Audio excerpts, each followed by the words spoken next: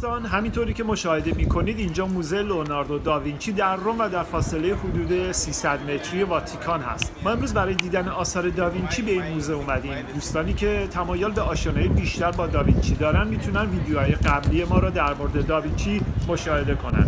پس با من همراه باشید دوستان. تابلو مونالیزا رو می‌بینیم. مونالیزا یک کلمه ایتالیایی است که به معنی خانم لیزا است. مونا یعنی خانم یا بانو و لیزا هم که یک نام دخترانه به نام لیزا. این نقاشی مربوط به خانمی به نام لیزا آنتونیو ماریا است. شوهر این, شوهر این خانم یعنی شوهر لیزا به نام فرانسیسکو از اشراف شهر فلورنس از داوینچی خواسته بود که پرتره همسر سوم خودش رو بکشه. این تابلو به لبخند جوکوند هم شهرت داره.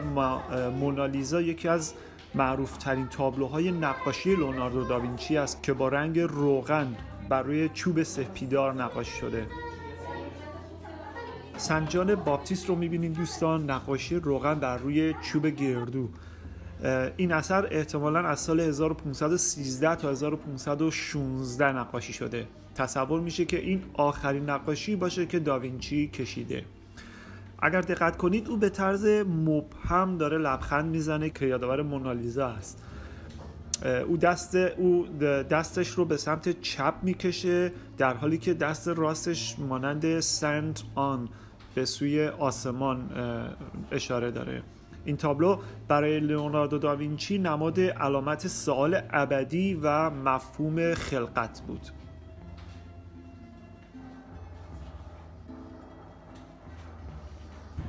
این نقاشی که می‌بینید مرد ویتروویان است که داوینچی در سال 1487 کشیده. نقاشی سالواتور موندی رو می‌بینید به معنی منجی جهان. در این نقاشی عیسی مسیح به تصویر کشیده شده که گوی جهانبین رو در دست داره. این نقاشی یکی از دو نقاشی لئوناردو داوینچی هستش که در تملک خصوصی هست.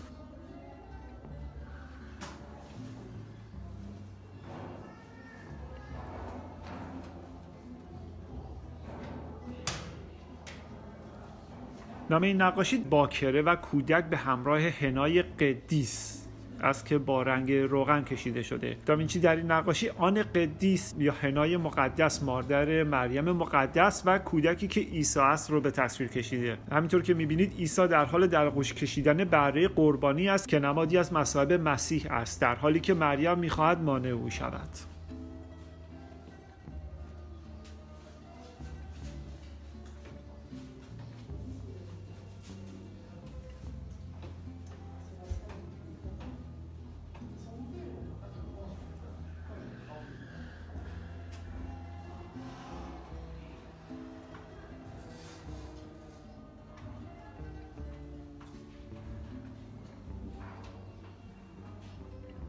این نقاشی متعلق به اشرافزاده فلورانس به نام گینورا دبنچی متولد 1458 است که به قیمت 5 میلیون دلار توسط یک شاهزاده لیختنشتاین خریداری شده این تابلو. این نقاشی که مشاهده می کنید مربوط به سیسیلیا گالرانی یکی از معشوقهای دوک میلان است که در سال 1490 بر روی چوب کشیده شده.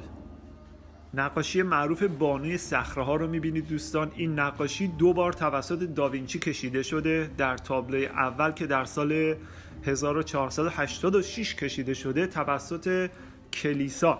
به خاطر اونچه که میگن می‌گفتن نشانه هایی از ضدیت با مسیح در آن هست رد شد. در تابلوی اول کودک سمت چپ که عیسی مسیح است در حال عبادت کردن به سمت یک موجود نامرئی است. که در سمت راست تابلو مشاهده می‌کنید. جایی که مریم مقدس دست خودش رو گویا بر روی سر این موجود نامرئی قرار داده. و زنی که در سمت راست تابلو است با نام انجل آریل انگشت خودش رو به صورتی آورده که گردن این موجود نامرئی رو انگار قطع کرده. این صحنه ای است که کلیسا با اون مشکل داشت. و داوینچی در تابلو بعدی با قرار دادن یک صلیب در دستان عیسی مسیح و با پایین آوردن دست زن سمت راست و قرار دادن حاله بر سر مریم مقدس این مشکل رو حل کرد. اما در نهایت داوینچی پیام خودش رو رسوند. در واقع اونچه که داوینچی در این تابلو مخالفت خود را با اون ابراز داشته تولد عیسی از مادر باکره است. در هر دو تابلو مریم مقدس بر روی زمین مسطحی نشسته در درون غار که بالای سر اون صخرههایی به شکل آلت مردانگی وجود دارند و در نهایت این تصویر به طریقی کامل شده که شبیه به کلیسا از کار در میاد.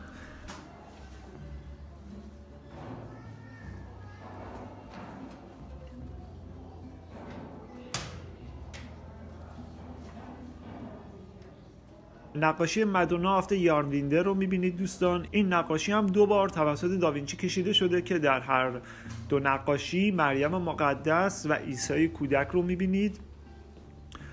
عیسی کودک صلیبی در عیسی کودک صلیبی در دست داره که به عنوان پیش بینی از مصلوب شدن عیسی مسیح بیان شده. تفاوت این دو نقاشی در background اونها هست. background این نقاشی تپه معروف میلان است و این یکی نقاشی در دره رودخانه آدا است.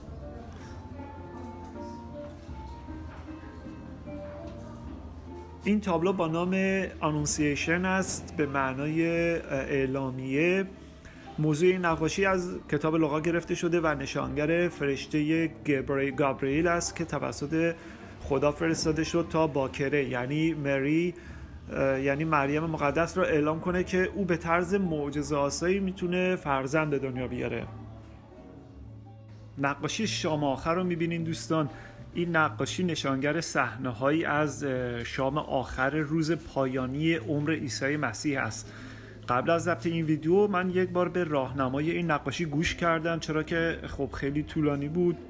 واقعا داوینچی در این اثر از نهایت نبوغ و هوش خود برای رسوندن پیام به بیننده استفاده کرده. یکی از این موارد رو که میشه بهش اشاره کرد به دلیل لو دادن عیسی توسط یهودا در این نقاشی اشاره شده. در این تصویر عیسی مسیح و یهودا همینطور که دارین می‌بینید دستشون رو برای برداشتن یا بیشتر شبیه چنگ انداختن یا قاپیدن چیزی دراز کردن و در بین این دو دست اینها می‌بینیم که دست این شخص رو می‌بینید. یعنی کسی که میگن مریم مجدلیه است. و در همین حین دیده یهودا مستقیم به سمت مریم مجدلیه است. دوستان توجه داشته باشین که اینها تنها برداشتی است از آنچه که داوینچی کشیده. یعنی این نقاش می‌تونسته چیزی دیگه ای بکشه. پس دلیل بر صحت اصل ماجرا نیست چون همه ما عیسی مسیح رو به اندازه کافی می‌شناسیم. جالب است که بدونید مردم خیلی به این تابلو توجه دارن به محتویاتش. برای مثال من دیروز در یک مجله ایتالیایی یه تبلیغ رو دیدم که همین تابلو شام آخر رو برای تبلیغش استفاده کرده بود. اما به جای عیسی مسیح و حواریون که در تابلو می‌بینید همه مرد هستند همه رو زن کشیده بود. و این شخص که میگن مریم مجدلی است رو مرد کشیده بود که من از این تبلیغ عکس گرفتم و بعدا در زمان ادیت به ویدیو حتما اضافه خواهم کرد. داوینچی برای اینکه بفهماند که این شخص یکی از حواریون نیست خب خیلی خب ادعا میشه که خب این شخص یکی از اون حواریون هستش چون دوازده نفر بودن اما داوینچی برای اینکه بفهمونه که این شخص یکی از حواریون نیست دستی رو که چاقویی رو در برداره در اینجا کشیده که این می‌تونه دست همون نفر دوازدهم باشه. ما قبلا یه ویدیوی به نام رازهای نقاشی شاماخر درست کرده بودیم که می‌تونید توضیحات بیشتر در مورد این نقاشی رو در اونجا ببینید.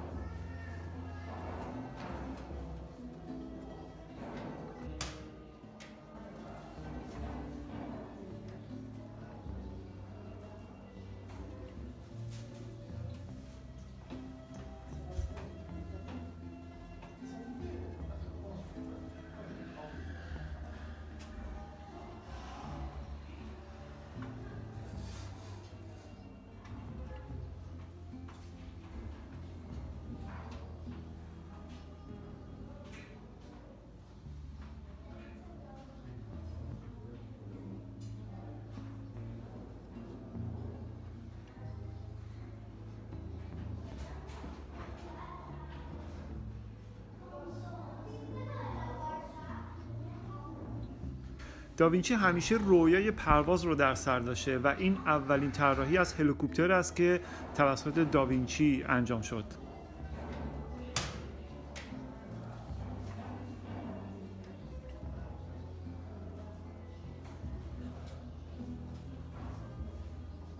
این سرعت سنج باد است که داوینچی برای هواشناسی این دستگاه را ساخته بود.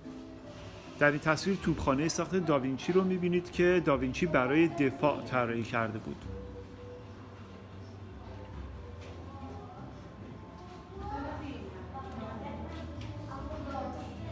یکی دیگه از طراحی های جنگی داوینچی رو می‌بینید. داوینچی اولین کسی بود که تانک زرهی رو طراحی کرد. او در حالی که برای دوک میلان کار می‌کرد یک ماشین جنگی زره پوش با 36 اسلحه که در دور این هست در دور این تانک هست می‌بینید ساخت که 8 نفر اونو میروندن. در طوری اون زمان این ماشین این تانک تقریبا شکست ناپذیر بود.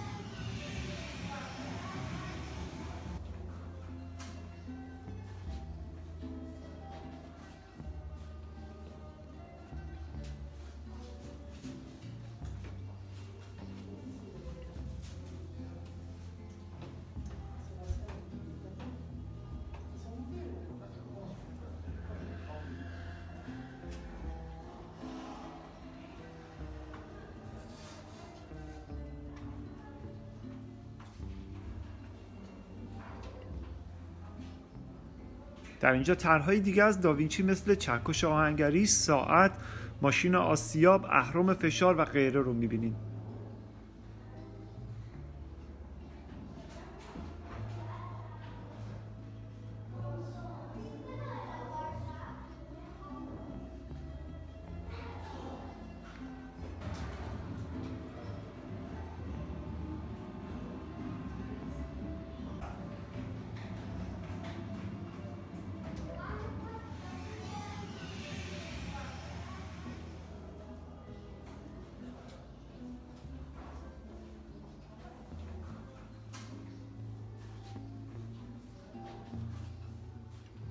خودروی ساخت داوینچی رو می‌بینید دوستان. این یک خودرو داره یک مکانیزم فرمان معتبر چرخ تعادل همراه با سیستم ترمز است. هنگامی که ترمزا آزاد میشه خودرو شروع به حرکت می‌کنه.